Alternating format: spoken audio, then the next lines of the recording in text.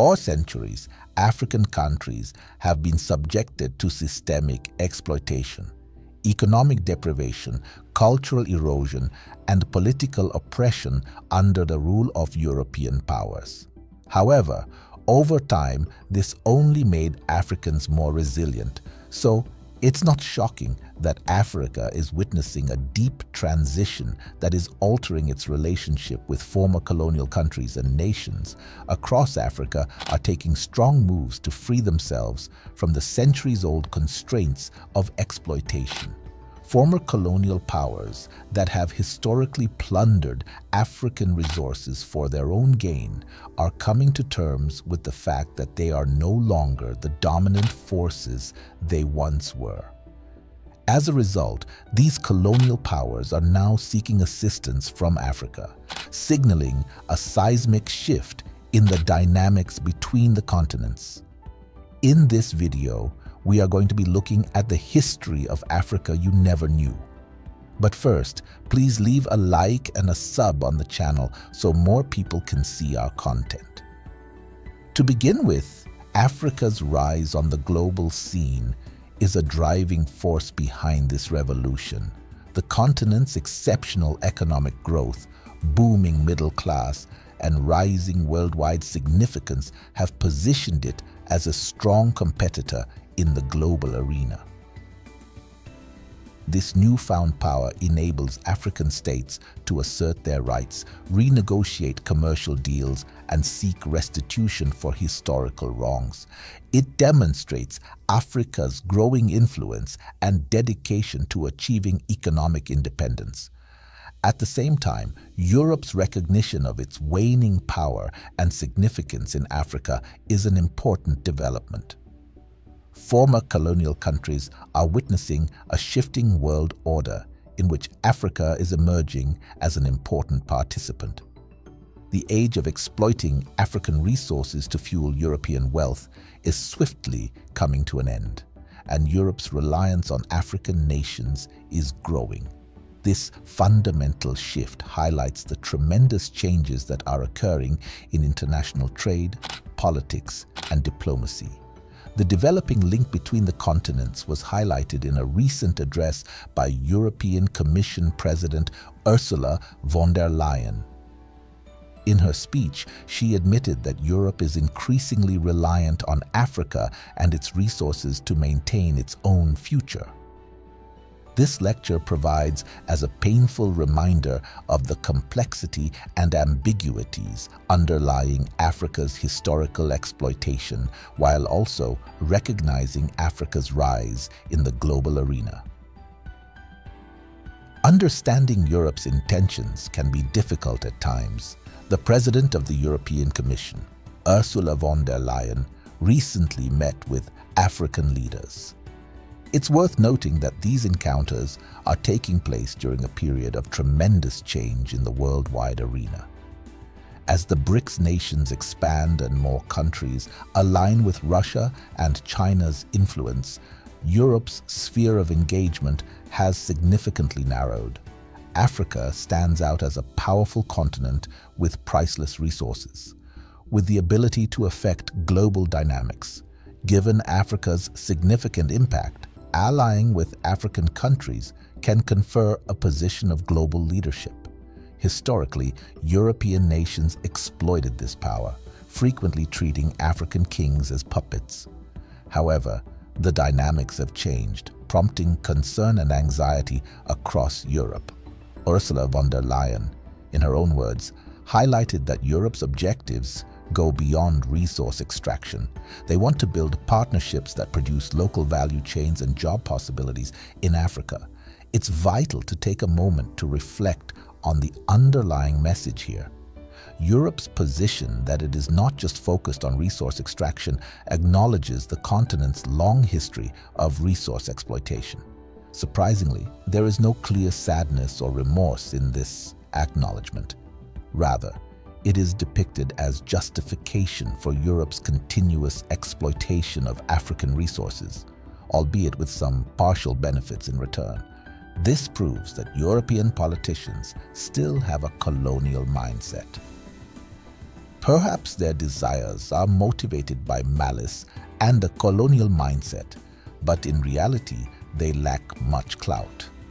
They profited by exploiting Africa and its riches, a practice that has now come to an end. Europe has stated its intention to develop local value chains in Africa, but it is critical to ask who Europe genuinely represents when it comes to assisting Africa. A fundamental shift in global view is required since, in this power balance, Africa, not Europe, wields substantial influence. As a result, Europe must stop belittling itself or risk becoming a laughingstock on the global stage the comment made, implying that Europe's interests go beyond resource extraction, was a major blunder. Whether that was an unintended slip of the tongue or a reflection of Europe's genuine thinking, it revealed Europe's position. While speaking, the man appeared to be speaking on behalf of the entire continent of Europe. In a recent remark, the speaker emphasized Europe's determination to invest in the capabilities of local people, particularly young children involved in dangerous jobs such as gold mine, which serves as a critical resource supply for European industry. What is most noticeable about her statement is the lack of any obvious sense of shame or ethical concern. This unrepentant posture suggests that Europe is ready to commit major resources to this cause, with the ultimate goal of African countries becoming more important suppliers to the European market. The speaker's delivery of these ideas is characterized by an apparent lack of logic or empathy, raising questions about the ethical consequences of these goals. Her candor appears to be a candid reveal of the lengths to which Europe may be willing to go to achieve its resource demands. This apparent disregard for the welfare and rights of young children engaged in hazardous labor emphasizes the crucial need for a critical evaluation of the global supply chain and the ethical duties of countries and corporations participating in resource extraction. The speaker also emphasizes the necessity of international oversight, laws, and ethical standards in ensuring worker fairness, and the protection of vulnerable groups. It is a harsh reminder of the critical need for a worldwide discourse about responsible sourcing, ethical trading practices, and the significance of supporting local communities rather than exploiting their resources without consideration for their well-being. Finally, the speaker's remarks put light on a sensitive topic that requires immediate attention, contemplation, and action to protect the rights and dignity of those involved in resource extraction while also promoting more ethical and responsible corporate practices on a worldwide scale. The need to put the speaker's claims into doubt arises from a larger framework of global power, dynamics and economic linkages. Europe and the United States have expressed rising concerns about China's economic and geopolitical dominance, prompting them to implement risk aversion tactics and diversify their trade relationships. While reasonable from their perspective, this cautious attitude is regarded differently in Africa. Diversifying alliances and partnerships is considered as a crucial component of this region's strategic objectives, expressing a desire to lessen reliance on any single economic or political force, similar to how Europe strives to diversify its supply chains. The idea that Europe considers punting its issues onto Africa implies that a more egalitarian and collaborative solution to global difficulties is required. Instead of expecting Africa to accommodate Europe's objectives, a call for mutual cooperation and conversation has been issued.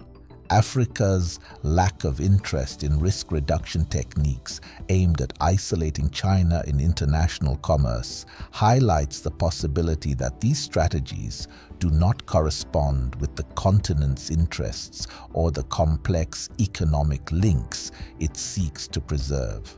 The connection to Ursula von der Leyen's statement about having the same unity of purpose with Africa as with Ukraine emphasizes the importance of consistent and sincere involvement with Africa. It emphasizes the concept that Africa should not be viewed as a subsidiary concern, but rather as an area of equal importance in global politics.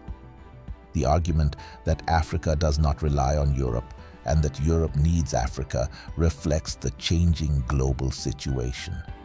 Indeed, decades of European affluence have been linked to a history of colonial exploitation, but this age is coming to an end the evolving economic and geopolitical landscape of Europe necessitates adaptation and collaboration with a broad collection of nations.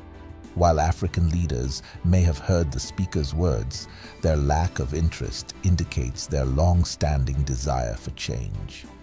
Europe's past reluctance to abandon exploitative methods is considered as an obstacle to a more egalitarian and mutually successful global collaboration, which is becoming increasingly important in a fast-changing world. This argues that international interactions should be more inclusive, cooperative, and courteous the changing scenario in Africa has pushed Europe to reconsider renewing its connection with the continent. This re-engagement attempt, however, is perceived as arriving late to the scene. Drawing on their historical experiences, African leaders handled this issue with prudence, avoiding the prior mistake of placing excessive reliance in European forces. Instead, they are steadfast in their determination to establish Africa as a vital global player where power and influence will gradually gravitate. Africa's cautious attitude requires an awareness of the historical framework in which Africa and Europe have interacted. Historically, contacts were frequently marked by exploitative colonialism in which European powers sought to control and plunder resources from African states. These events have left an indelible mark on African leaders who are apprehensive of engaging into partnerships with Europe without clear benefits and protections. Africa's leaders are determined to establish themselves on the global arena, engaging with a greater spectrum of international actors and pursuing mutually beneficial ties as the continent enjoys economic growth and increased political agency.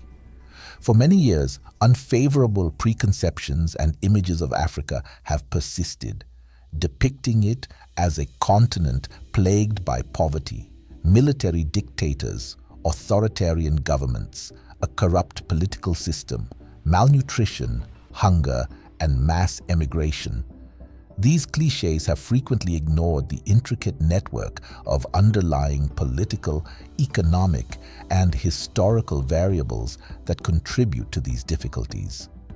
By focusing primarily on these surface-level challenges, the world has frequently failed to realize Africa's potential, diversity, and resilience. The negative perception of Africa, generally attributed to Europe, has shaped the continent's historical and modern connections with the rest of the globe. This depiction is a useful tool for Europe in justifying its exploitation of Africa's huge natural resources. By painting Africa in a negative light, Europe is able to justify its economic interests and resource extraction efforts, making it easier to engage in exploitative behaviors without meeting considerable criticism or scrutiny. What must be understood is that Europe has historically played a substantial part in creating many of the difficulties that Africa now faces. Colonialism has left an enduring legacy of resource extraction, exploitation, and political manipulation on the continent. Furthermore, the colonial era's imposition of European government and economic institutions contributed to the fundamental difficulties that Africa faces today. These difficulties range from political insecurity and economic inequality to social and environmental issues. In the modern era, the unfavorable portrayal of Africa serves a twofold purpose. On the one hand, it diminishes African nations' resistance to the capitalist economic systems imposed on them. By portraying Africa as a problematic region, efforts to challenge the established system and advocate for more fair economic models are undermined. On the other hand, this picture lends credibility to international interventions in Africa, which are frequently carried out under the pretense of advancing democracy and human rights. In actuality, these interventions may serve the interests of external forces more than African nations. When it comes to pre-colonial Africa, it's critical to remember that the continent has a long history of prosperity and cultural diversity. Despite dealing with a major issue prior to colonialism, notably slavery, Africa maintained a distinct community method of production and societal institutions. However, when the Western world shifted from feudalism to capitalism, the continent suffered dramatic shifts. This change substantially impacted the global economic landscape, with Africa being embroiled in the roughly 350-year-long Atlantic slave trade. During this terrible era, around 11.8 million people were captured and transported, with an estimated 10 million surviving the perilous journey to be sold into slavery in the Americas. The slave trade had a significant impact on Africa's workforce, particularly among its young men and women. Slavery had far-reaching and tragic consequences that reverberated throughout the continent's history.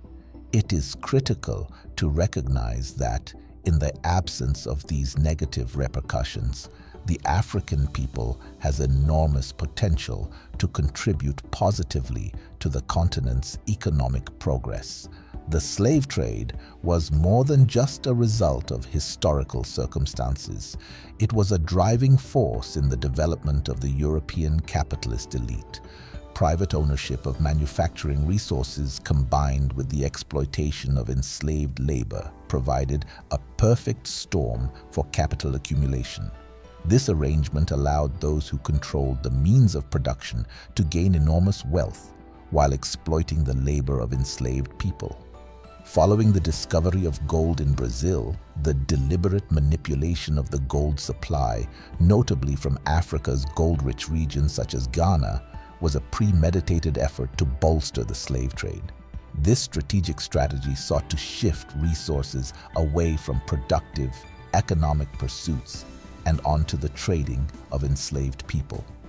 It was a glaring example of how commercial interests were emphasized over the African continent's well-being and progress. Furthermore, the slave trade depleted labor resources for critical agricultural activities in Africa. This depletion has disastrous repercussions, causing famine and suffering in several African countries. Slavery damaged local economies and left people struggling to meet fundamental requirements. The weakening of Britain's slave system during this critical historical period can be attributed to a convergence of multifaceted factors that collectively reshaped the economic dynamics and the role of slavery in British colonies. First, soil exhaustion in colonies where cash crops like sugar and tobacco were cultivated had a profound impact. The continuous cultivation of these crops depleted the soil's fertility rendering many plantations less economically viable. As a result of the slave trade's diminishing relevance in a more industrialized economy, Britain was forced to engage in direct imperialism on the African continent. This imperialism intended to secure resources to sustain the rapidly expanding industrial sector, signaling a dramatic shift in resource acquisition techniques. The Industrial Revolution was the culmination of these shifts and a watershed moment in Western capitalism. It resulted in a slew of technological breakthroughs, boosted productivity, and dramatically transformed the economic landscape. Notably, the Industrial Revolution demonstrated that industrial capitalism could thrive without the labor-intensive and morally dubious practice of slavery, changing the future of Western countries. The shift from an agrarian-based economy to an industrial one presented a compelling argument for ending the slave trade. With the cessation of slave labor, there arose a necessity for an alternative system that could sustain the generation of profits vital for the growth and accumulation of the capitalist system. The primitive accumulation of wealth resulting from slavery and international trade laid the foundation for the economic upsurge that transpired between the 1840s and the 1870s. This era witnessed the industrialization of European nations, which further fortified the underpinnings of the capitalist political economy. During the period from 1850 to 1870, international trade saw a remarkable surge of 260%.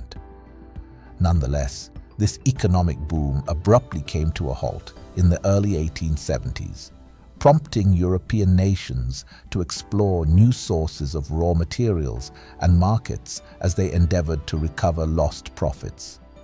This pursuit drove European countries to initiate colonialism with the aim of gaining political control over African states, exploiting them for the economic sustenance of European capitalism was the primary objective. By the period spanning from 1870 to 1900, almost the entire African continent had come under colonial rule, with only a few exceptions. This era of colonialism was characterized by a spectrum of violence, with one of the most significant aspects being the coercive imposition of the capitalist political economy over existing primitive economic systems. Colonialism emerged as a direct consequence of the inherent contradictions within capitalism. As the profit rate declined at a certain stage, countries were compelled to search for new territories and environments to perpetuate capitalist production, exploitation, and profit generation. For the comprehensive integration of Africa into the capitalist political economy, there was a need for a unified monetary system for trade and exchange. Local currencies like the gold dinar, gold dust, cloth, copper, iron, and cowries had traditionally been used for transactions in Africa. However, colonial powers systematically eradicated these pre-colonial currencies. They confiscated land from local populations, compensated wage laborers with European currency, imposed taxes payable in European currency, and introduced an exclusive banking system that operated solely in colonialist currency. This pattern continues to persist, epitomized by currencies like the CFA franc and others. These measures stripped local populations of their land and their subsistence agriculture, compelling them to redirect their remaining production towards the demands of the colonial markets. To fulfill their tax obligations, the process of proletarianization, which involves transitioning from self-employment in the peasant class to becoming wage laborers, led to significant mass migrations towards wage labor. This, in turn, generated substantial profits for the colonial powers. The economic interests of the colonial metropolises were met, and the colonies were transformed into suppliers of raw materials with a single dominant crop lacking diversification or industrialization.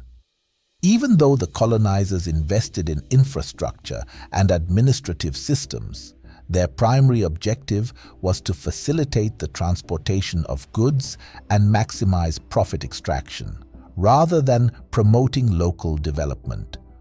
All investments were made with the aim of maximizing profit recovery in the shortest possible time and they were not seen as essential costs for running the colonies.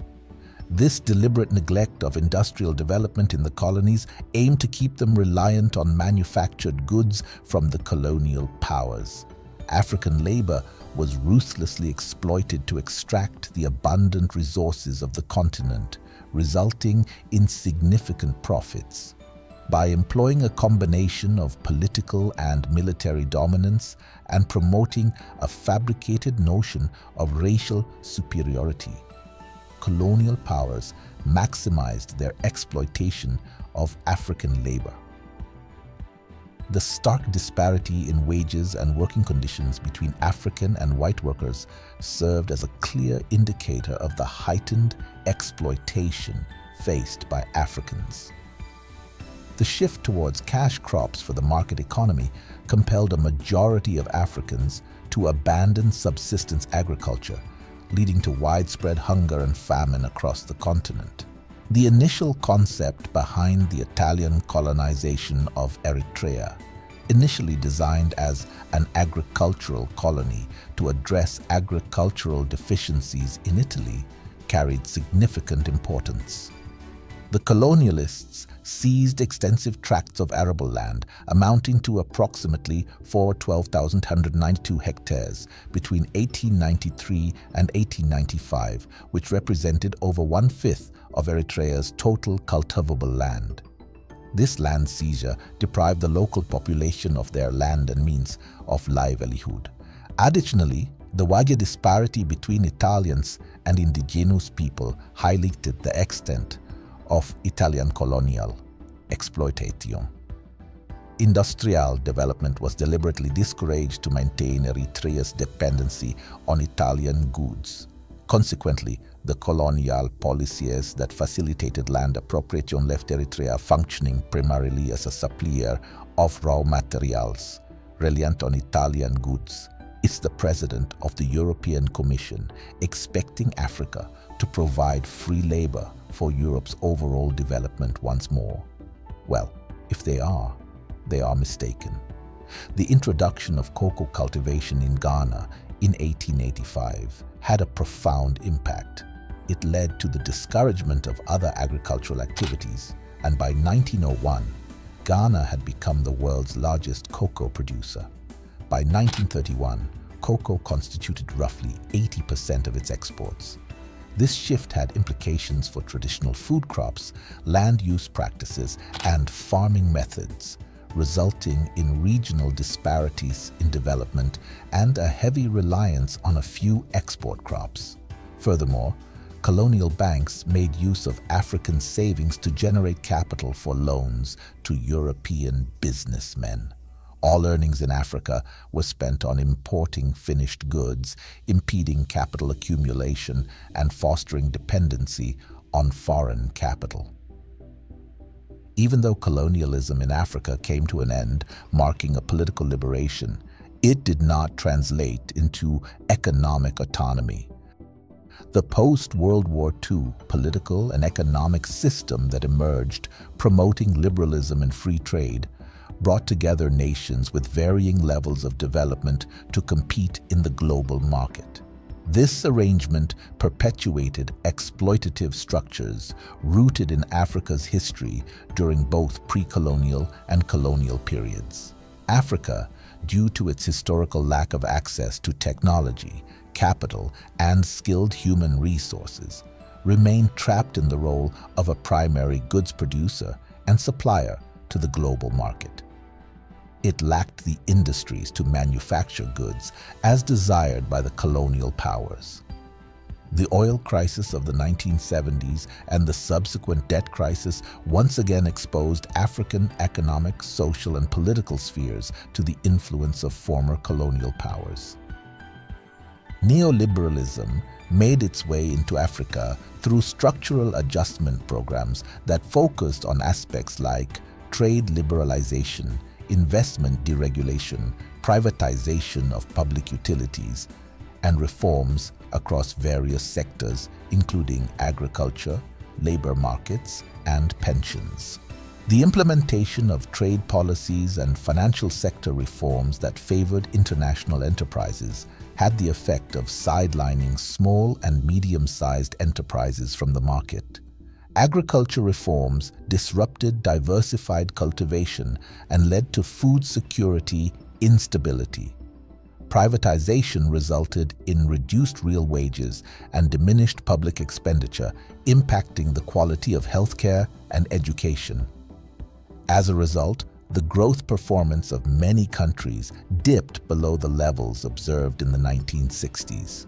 Centuries of exploitation and underdevelopment on the African continent have created a situation where various ethnic, religious, and tribal groups vie for political power, which grants them access to economic resources. This has unfortunately led to civil wars, displacement of large populations, and forced migration to the West. Now, as Africa moves to undo the structural changes imposed by European powers, the President of the European Commission is calling on African leaders to maintain these destructive policies. She has essentially asked Africa to be a greater supplier of raw materials so that Europe can continue its exploitation. The question is whether Europe expects Africa to allow this to happen again. The resounding answer is no. The issue at hand is whether African leaders should forge ties with European countries or keep them at a distance. What are your thoughts on whether African leaders should allow European countries to establish these ties? We must ensure that Africa is not afforded any opportunity to be exploited by external powers in the future. It's crucial to outline what actions Africa should take now, given its prominent status and influence. If you're interested in watching more videos on these topics, please subscribe to our channel and click the notification bell icon. We are committed to producing videos on subjects often overlooked, such as black culture, civilization, history, and evidence highlighting the remarkable contributions of black communities. Thank you for watching and stay tuned for our next video.